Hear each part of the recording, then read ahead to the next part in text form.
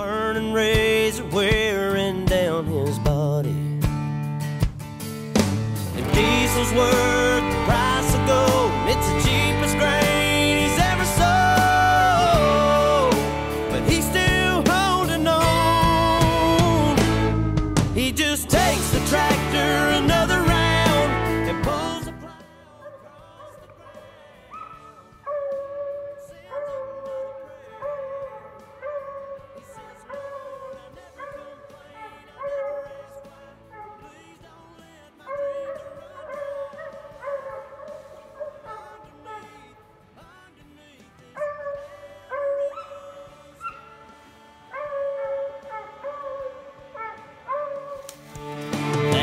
launched on back in 83 sure did take a toll on his family.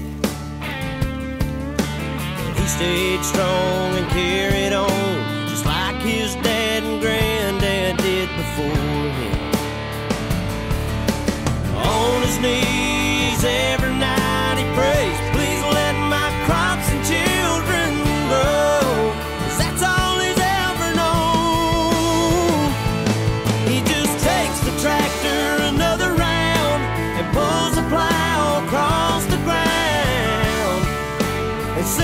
another prayer.